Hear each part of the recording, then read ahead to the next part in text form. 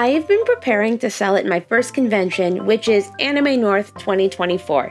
Technically, I'm a guest of Dolls North, but it's all in the same building under the same convention.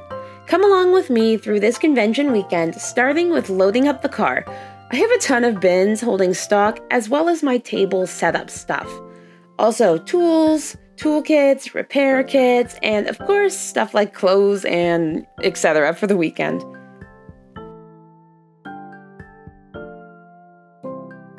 The drive to Toronto from where I live is about four hours, and I pretty much just spent the entire time knitting doll clothes and listening to Reddit stories.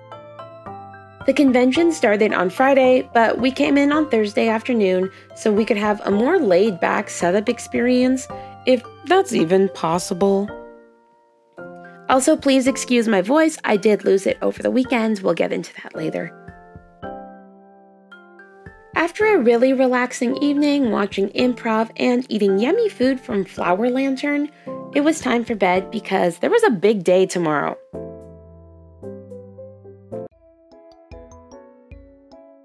Good morning, it is day one, and I'm so excited and nervous.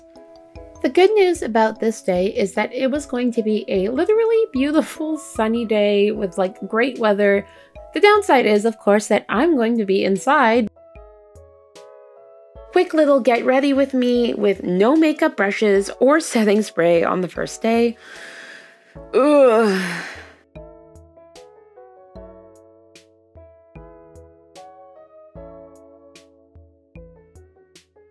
The hotel had an Anime North guest breakfast and really terrible coffee, which we had each morning.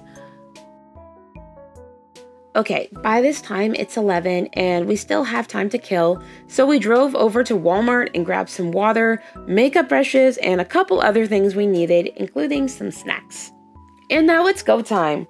After a bit of a wait, we did get our passes from the Dolls North organizer and we're ready to set up. Setup was pretty easy and took about two hours. The table was a little narrower than we anticipated, so we had to rework some stuff, but it did work out well. And we were all set up a whole hour before the convention opened. I credit this to the literal hours I spent planning out what my setup was going to look like, as well as the two practice runs I did of actually making my setup. It also helps that I left the dolls on the stands, as in the clips of the stands on the dolls, so that I just had to slide them onto the stands. And also, I didn't I don't know why this didn't even occur to me, but I had a whole second person helping me. So while I was doing fiddly things like setting up dolls or like positioning things, I had him to secure everything into place and put up signage, and all kinds of stuff. So, like, having a helper made this way easier. No one is surprised but me, I guess. So, before the convention opened, we took a few minutes to walk around and check out what was going on in Artist Alley. Artist Alley is my favorite place in all of Dolls North slash Anime North, and I just love seeing what other people make. So the convention opened at 5 p.m. and it was a bit slow at first, but it picked up soon after that. On day one, we were able to sell a handful of dolls as well as minifigures and doll clothes. I really thought the Silly Sitters were going to be my number one seller because I got so many compliments on them from the non BJD people. It turns out though that the first day number one sellers were roly polies and my little chibi figures. My number two sellers were chibi kits and blank dolls, and my key rings. I did have Travis there, of course, helping me sell, and we both took time to take a couple breaks. I used my breaks to take photos of Hollow in the Dolls North photo booth that was literally 10 feet away from me. And I did a speed run around Artist Alley and scoped out some goodies for myself and my kids. I will post a Dolls North slash Anime North Haul over on my second channel, Teenier Tinkers. If you're into that, please check out my second channel. It's almost at a thousand subscribers, kind of almost, and honestly, it's been a goal for a long time, so it'd be very cool if you checked it out. Also, on the first day, I sold one of the Polly Pockets I made to this really cute girl who made her own Polly Pockets, as in like the characters. and carries them around to take pictures with. She was so freaking cute and she gave me a pin and it was just a really cute interaction. On the first day, I also got to meet a couple fans, but I'm a super awkward person in real life when I don't know people very well. And I saw a lot of people were just covering their stuff with sheets, and then the other half seemed to be fully packing things away. I took to the fully packing away because I was way too nervous to leave a bunch of expensive dolls on a table unattended. We took everything back to the hotel and then got Uber Eats, but it took until almost midnight to show up and it was cold and sad, and I was cold and sad. But I just went to bed because Saturday was going to be the long day of the convention. No raise for you. You got the raise of the title of. Working overtime too. You got the raise of the title of Mr. Tinkers. I even get to bank it for extra vacation days.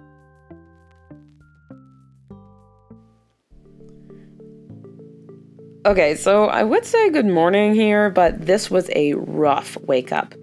I really wish I'd had more sleep, and we had to be there to get the table prepped for 9 a.m., so we had to get up at like 7 a.m., even with very little sleep. Also, peep the Barbie pajamas. I love these, they're so cute and soft. Because it was a very little sleep day, I got dressed in my comfies and went down for some quick breakfast before we went out the door. Okay, so setup on this day was extremely quick because all of the backdrop and all the pricing stickers and everything were already out. So it was really easy to get everything ready by 10 a.m. Also, by the way, the table beside me was Lisa from Peachy Daydreams. She's a fellow Canadian ball jointed doll artist and she makes really, really, really cute stuff too. And um, she was also like the co guest with me. So we were just like chilling and hanging out. But okay, this day, I knew it was going to be the longest day, but by 3 p.m., I was so beyond exhausted. I met and talked with so many people, which is amazing, but really draining.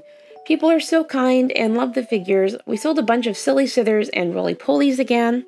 I was so excited and grateful because by noon on Saturday, we had exceeded the sales goal we had set for the weekend.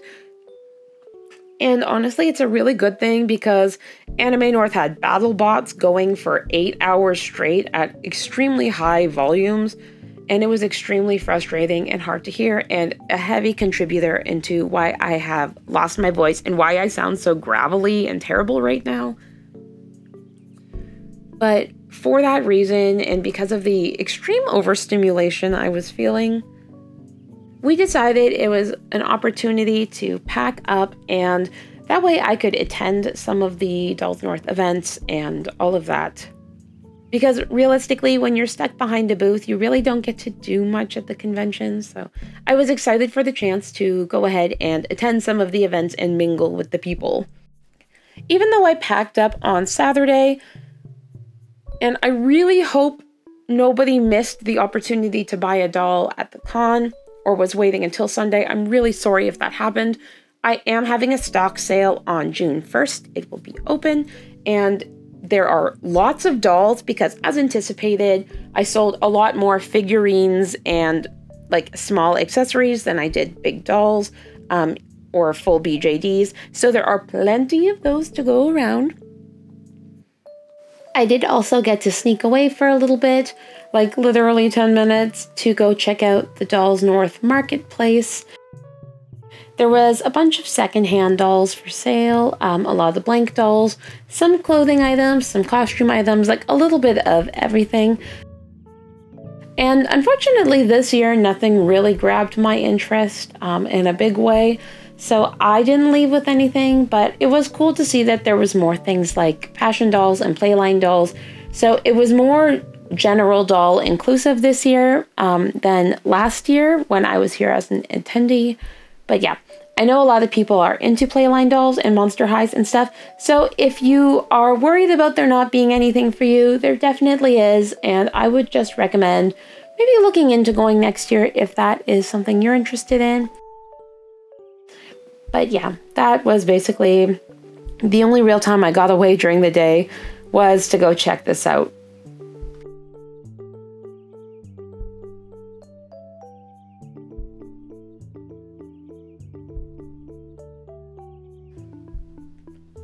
But before all of that, Peachy Daydreams and I had a panel.